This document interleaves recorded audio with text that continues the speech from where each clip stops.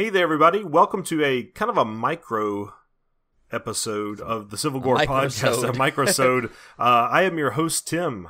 And this is Brian. And we're just going to get this is about a like five, six minute show here where we're just going to kind of announce like the long awaited. I know you've been waiting for it. I mean, 2020 has been a long year, but what we will have is our annual Civil Gore Horror Movie Challenge. Fourth annual, Tim. Can you believe that? Yeah, and this one's bigger and better than last year. This one is going to be a ton of fun. I've already actually started planning mine, which I'm getting a little bit of a head start on the planning, but we are going to release this to the masses this week so that you can start planning and then on October 1st you can start watching your films and trying to accumulate as many points as possible. And Brian, I'm not eligible for the prize pack, obviously, as a host. No, as as am I not as well. But we just do it for for bragging rights. Right, but I can tell you that I am very confident that this year I am going to ace this challenge and get all 1031 available points. Yes, if you see what we did there, we made that 1031 of course right. when you finish it i got really i got really creative this year i think but um and once again we kind of what we did is we kind of uh everyone seemed to like last year's uh format where it's you know there there's challenges to meet um, it's not like you have to watch one per day. You just have to have 31 films within the 31 days. Um, we'll list the rules in a second here, but um, uh, first uh, we do want to thank, uh, of course, our, our good buddy Ken who provided a lot of the ones from this year. We have some repeats from last year, um, but uh, we have a whole bunch of new ones. So let's just give the rules out as they stand right now.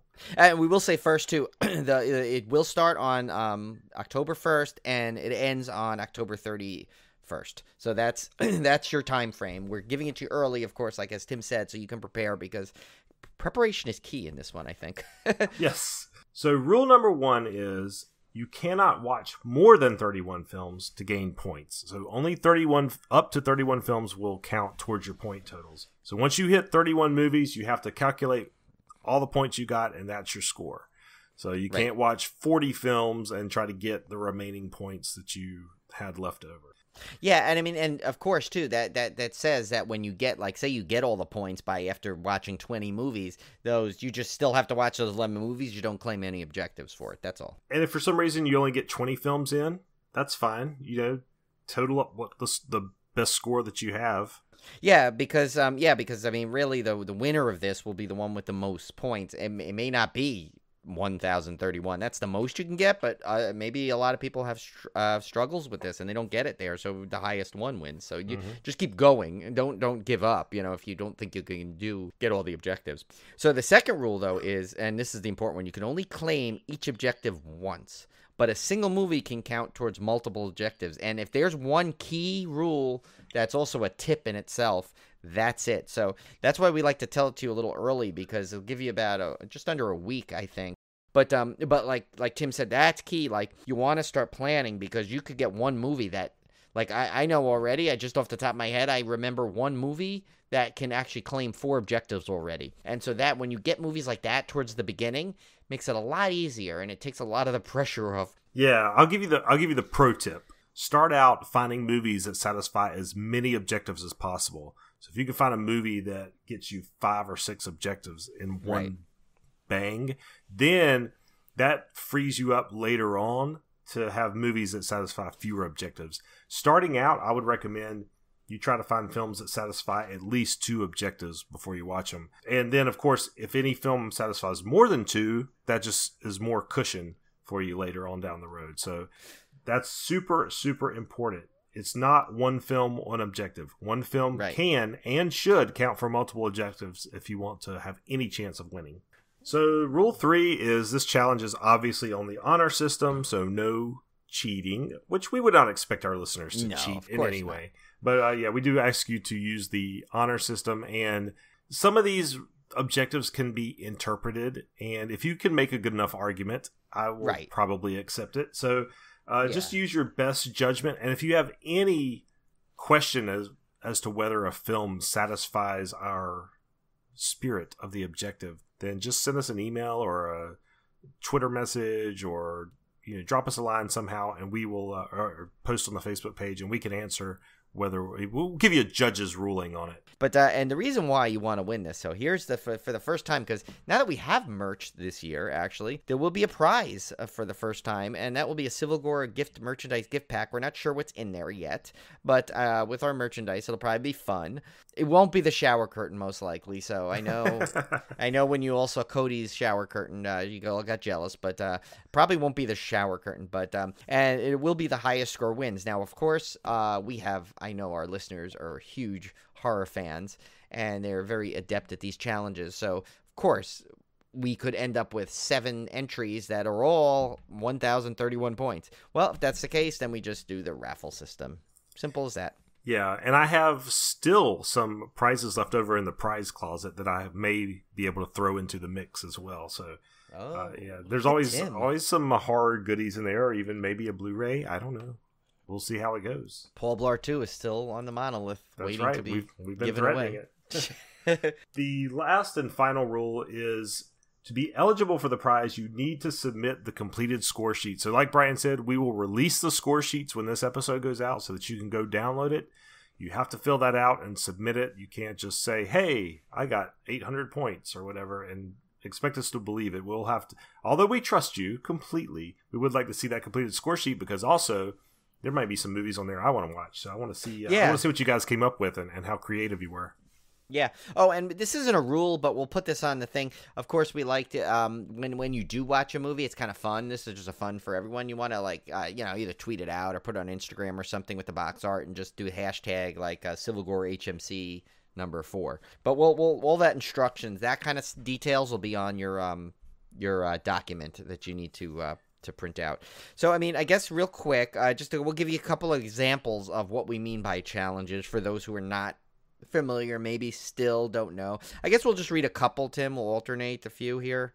Yeah, so they range from some some of these are very general and, and easy to get, but the general ones are also the lowest point values. So Right. the lowest point value per challenge is 10 points. And that's for something like uh, a Vincent Price movie or a movie featuring a vampire.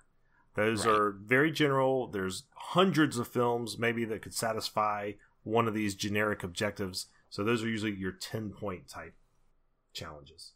Right, and then we have another one which I, I want to highlight because it's for our good uh, buddies Kim and Ket, um, and that's one. There's a challenge this year. It's the first time. It's called "Play It Again, Sammys," and that one is watch a film featured on the Kim and Ket Stay Alive Maybe podcast. So there, so there, there's some challenge here where you might have to do a little research. You may have to go check out their podcast, at least their feed for sure, and kind of see which movies they've done Mhm. and you know and they've they've been around now for i think like two years so there's a lot to choose from for there.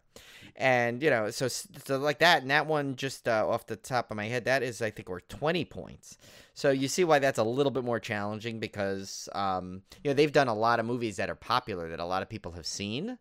So that's where you know that's where certain challenges get tricky because if they've seen it a lot of times you have seen it. We'll go through some of these that are maybe a little vague. Uh, one Right. here is watch a folk horror movie, and we Right. called this uh, challenge mid October instead of Yeah. midsummer. but uh, that's right we all have catchy names yeah. too for our little challenges so. But watch a folk horror movie, and, and again, there's no clear rules as to what actually that constitutes. You could probably make an argument either way, but we, the spirit of it is we were looking for something like Midsummer or Wicker Man or The Witch, something that has kind of like a maybe a folksy rural feel to it. I don't know quite how to explain it, but you kind of one of those things you know when you see it. So uh, that's uh that's that one. If you have any questions, um, some of these like you'll see like this one, The World According to Jeff Goldblum. Watch a horror movie featuring someone who has been in a movie with Jeff Goldblum. So that does not mean that they had to have been in a horror movie with Jeff Goldblum. They just had to have been in any movie with Jeff Goldblum. So it's kind of a with those where you have Right. uh we have a couple of them in there where we say watch a horror movie that has a person who also starred with this other person. The movie they starred in with the other person doesn't necessarily have to be horror. It just means they worked for, with that other person at some point in their career. Right, and we could say it doesn't have to be necessary. It could be an audible starring. Like if they did a voiceover with someone in a movie, like an animated movie, that counts. Yep. One of this that I found really tricky is uh, the Drive-In Never Dies. Watch a horror movie featuring a guest who appeared on the last Drive-In. That refers to the Joe Bob's The Last Drive-In on Right. Shudder, who uh, doesn't die in the movie that you're watching. So Right. Uh, that that's a little tricky. So some of these you're going to have to do some research, especially for if God forbid you don't have Shudder, you'd have to go look up the list of the last drive-in guests and figure out how how you're going to do that. So uh, yeah, some of these are can get quite uh, research intensive. Yeah, I guess that's it. Um, so when you hear this, just look on our Twitter feed uh, and Facebook page because we'll have the um, the drive links to to where you can get uh, download the instruction sheet and the your score sheet, so you can print that out and um, or I mean you could I guess save it to your own like Google Drive if you want to do it that way. Or I find printing it out is a lot easier just because then you can scribble and make notes and stuff. But uh, the score sheet will be nice because it'll give you um, all the the objectives, the point value, some um, some extra columns for notes and where you want to put your movie, so you can really keep track of it. Yeah. So uh, if you guys have any questions after you get the rule sheet and the uh, challenge sheet, then uh, just please let us know, and we will get right back to you. Yeah. So uh, I guess good luck, everyone, and uh, enjoy because this is remember it's all about fun and getting to watch a at least 31 horror movies that you haven't seen before. All right. Good luck, guys.